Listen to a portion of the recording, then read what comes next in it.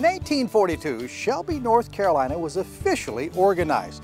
This is the Shelby Town Square. Years ago, there was a revitalization effort that took place, and we've sought out a local authority on preservation, former mayor, Ted Alexander, and he's going to tell us about all the great architecture in this area. Ted Alexander! Carl, how are you? I'm good great. to see How are you. you? Yeah, I'm doing good. Doing And good. here we are in this beautiful town square. Beautiful well, weather. you call it a court square, though. This is our historic court square right here. Wow. When was the square built?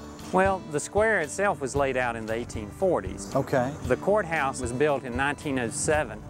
And you know, it really reflected the period of classical revival architecture. You can see uh, Corinthian columns. You've got the, the balustrade at the top of, of the roof line there. And then it has four domes and then a center dome. And in the center of the dome is a sort of a classical revival cupola.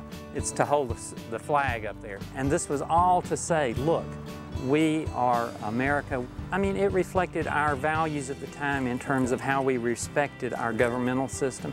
We were proud of these edifices. We built them to bespeak our democracy, our republic. Well, we owe a lot to our forefathers because a fellow named James Love, when the county was formed in 1841, he and a couple other guys went to Washington and they were so impressed with the grand boulevards that had been laid out for the nation's capital. They literally laid out this court square as you see it now with these streets, and these four streets are named after generals in the American Revolution. We were facilitated by a professor from NC State, and he said, Look around, your town is dying. You need to do something dramatic.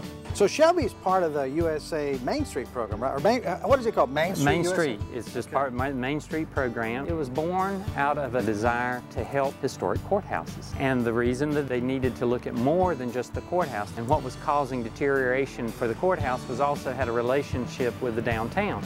So a healthy downtown area would, of course, support a healthy court square. Yes, and that's of course exactly what has happened here in Shelby.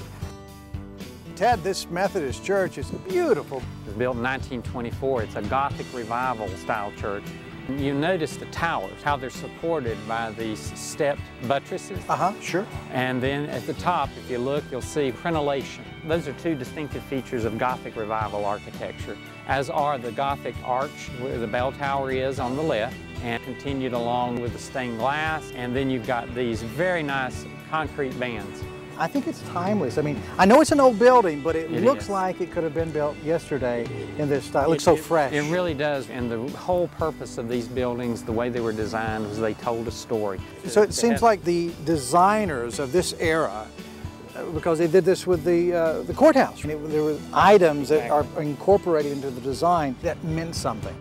Next, we took a trip to the Charles, where Ted proved their buildings are as beautiful inside as out. Originally a combination bank and hotel, after a fire, it was reopened in 1928 as the Hotel Charles. This would have been the lobby from 1928 here. And you see it's still pretty intact.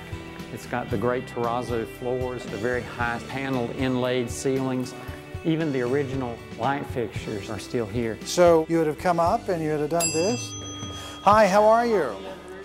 We'd like a suite for four.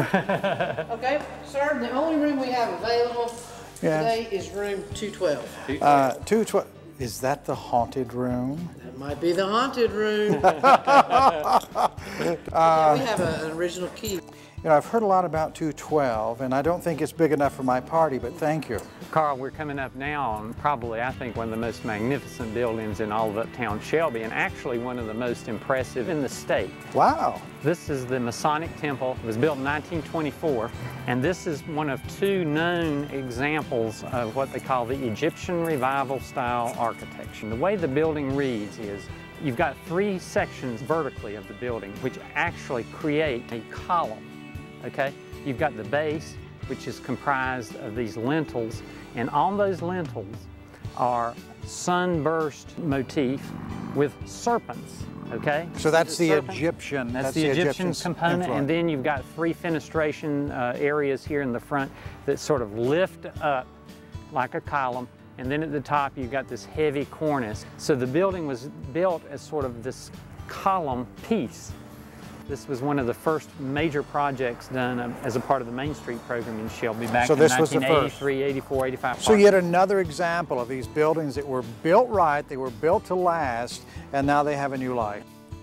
After learning all about the historic architecture of the Shelby Town Square, Ted suggested I check out their most famous eatery. I don't think any visit to Uptown Shelby would be complete without a visit to the Shelby Cafe. It didn't start here, it started across the street in the 1920s. Moved over here probably in the 1940s when the neon sign was put up. We're the official liver mush fall festival in North Carolina. And the Shelby Cafe is the purveyor of liver mush here in oh, town. I've arranged for you to meet the owner, so if I know George very well, he's probably going to put you to work. Well, I'm used to that. I'm used to that. So Ted, good. thank you so much. All I really listen, appreciate it's a pleasure. Thanks Thanks a lot. All right. Hello, George. Hello, Carl. How are you? I'm good. How are you? Good. I got you ready. I need some help today. You need some How help? Am I going to get to see how the Okay. liver mush is cooked? You're gonna cook it yourself? Oh, well, I bet you've cooked a lot of liver mush. Yes. More than I eat a lot of it too. You eat? okay, here we're going into the holy grail of Shelby That's Cafe. cover right here. Yeah, there we go. Okay, everybody, this is liver mush. I'm going to refer to this as country pate. Go ahead, put it on that little cook. Okay, I'm an official liver mush cooker. This is exciting. You did it right. Yes, sir. You're hired. Order up. Look at the size of those biscuits. We mix them here in the morning. So every day they're fresh. Was that part of Shelby Cafe back in They the early use roll days? and biscuit, yes. So that's a tradition. Made out of scratch, yes. Since 1922. Correct. Yes. Wow. There you go. You do it with one hand. That's good. You're doing good. There you go. Then the liver mush. There you go. There's your slice of cheese. It's gonna melt it right there. Right there like that. There you got it. Look at that. And- And you've eaten a few of these too, haven't Oh yeah. you? I'm going to go talk to some of you folks out here, but I bet they love Well, it. it's good to meet you. Glad you stopped by. Thank you, George. Yes, sir. I really appreciate, appreciate you. it. Yes, sir. Revitalization, I think, really has sort of enlivened Shelby. You're Mr. King. The small towns where the values of America are truly played out. Oh, now that looks good. There's so much more to see in Shelby. When in doubt, knock 'em out. And when we come back, we'll see it in style. Shelby, North Carolina. What an experience. Don't go away, there's much more to come.